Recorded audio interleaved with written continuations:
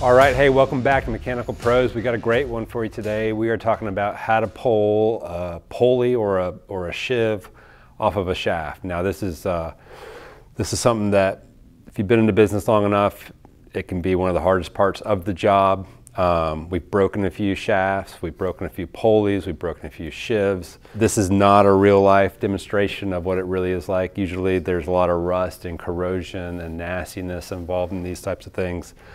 Bryan, tell me what we got going on here. Yeah. This is uh, this is one that everyone kind of it's a rite of passage Yep, into this industry. You're right. That's a great description too. Because when you do this, you do a couple of them, you'll have a lot of skin in the game, literally and figuratively.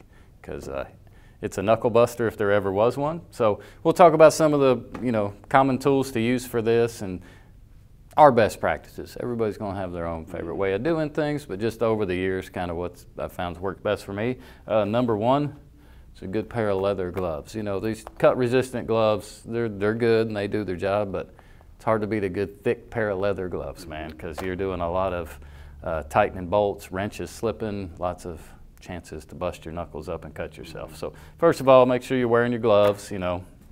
Um, next thing we know, we're going to need some type of a good um, lubricant. We just happen to have WD-40 here. There's lots of brands out there, Kroil, you name it. it, it not brand specific, it's just what I happen to have.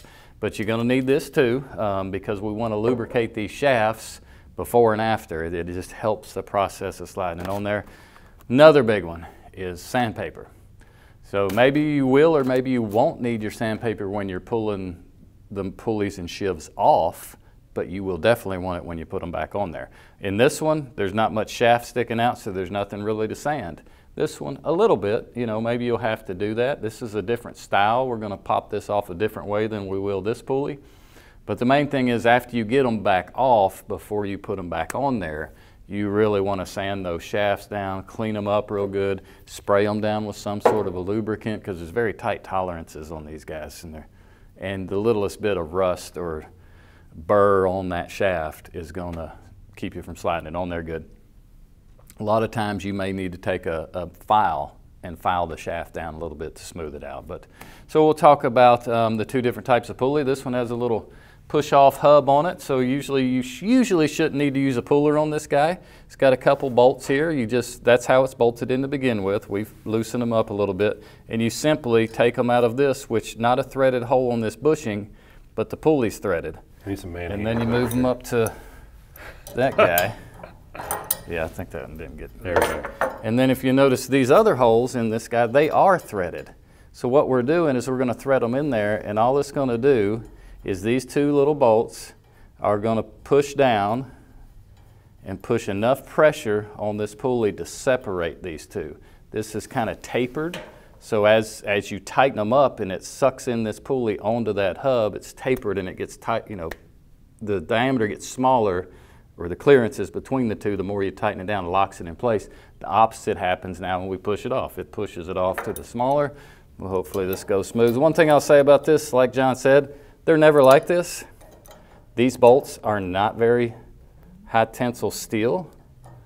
So nine times out of 10, if this thing would have been 10 years old or so, I'm about to snap these bolts off because it's going to be so seized to that shaft or rust and wear.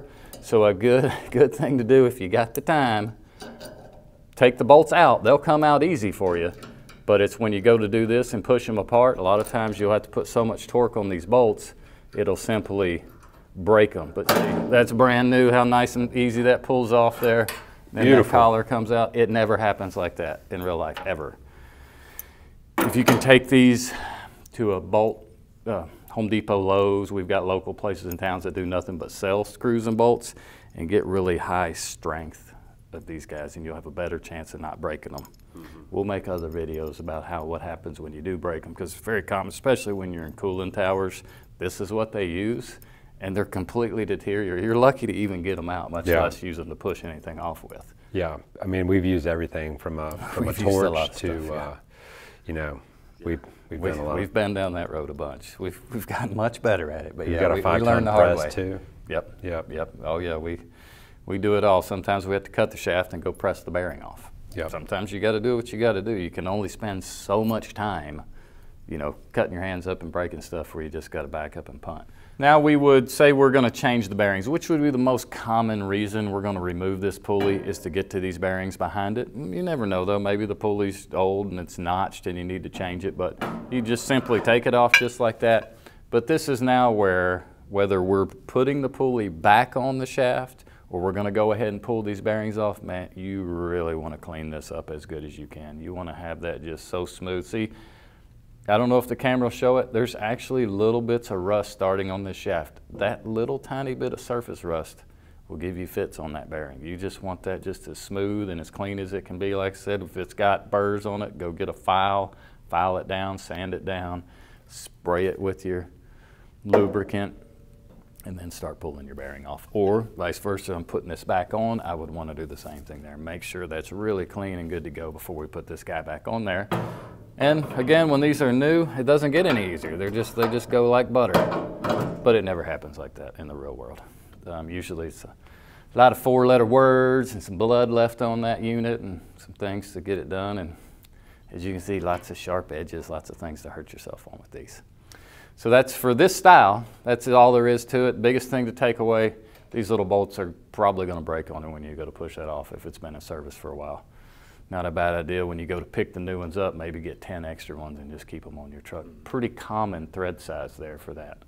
Okay, now we're going to talk about um, removing our motor sheave. So this is a little bit different setup on this guy. We have a set screw back here that is screwed down onto the little motor shaft that keeps this from moving.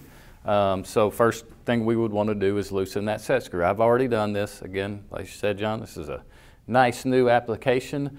Um, a lot of things to be aware of when you're removing these set screws on a unit that's been in service for a long time is they will be very tight. Um, it's easy to go too hard with your Allen wrenches and mm-hmm. strip those dudes out and then you're really screwed. Then you're having to drill them out. So again, this is where this stuff comes in important. As soon as you get started and turn everything off, maybe go ahead and shoot some in everywhere.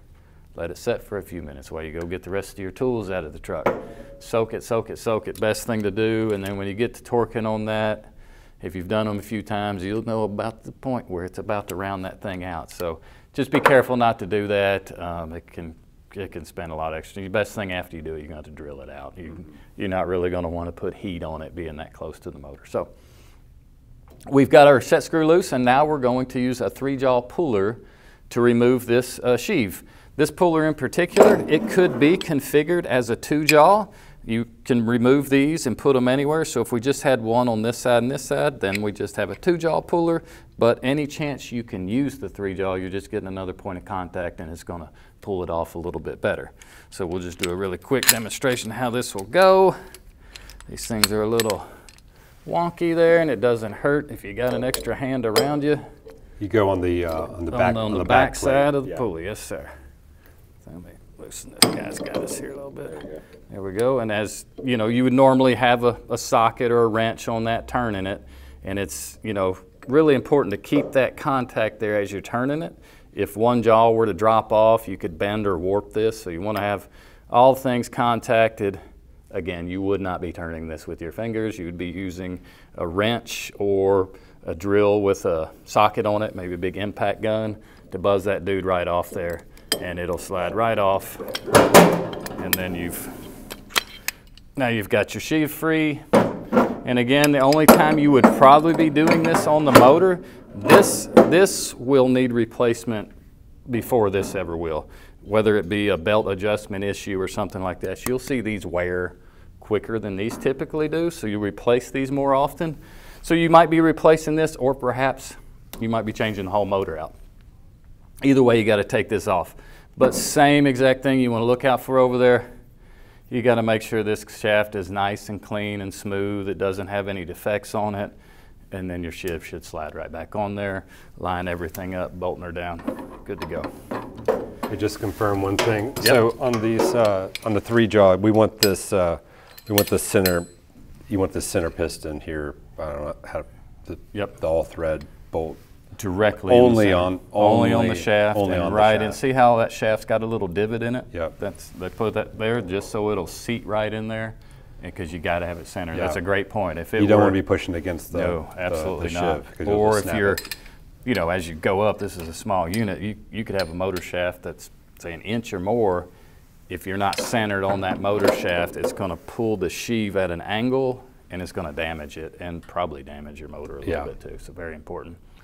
And worst case, like I said, we got this thing is 20 years old and we can't get it to come off. Uh, behind Jon there, he's got option number three Oh yeah.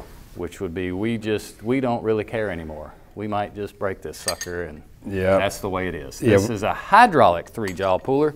It works exactly the same way. You set it up the same way, same little center point, except you've got this jack handle, and I think this one will do. Uh, I think it's five tons of pressure on this thing. Yeah. So yeah, it's either coming off or we're gonna break this thing. Yeah. We've probably broken more things. We've and broken fixed, a few. Fixed and we've broken that. these as well. When you get on bigger gear, you think there's no way to break these. Oh yeah, you, you can break them. Yeah. So this would be last resort, or you're working on much bigger stuff, towers.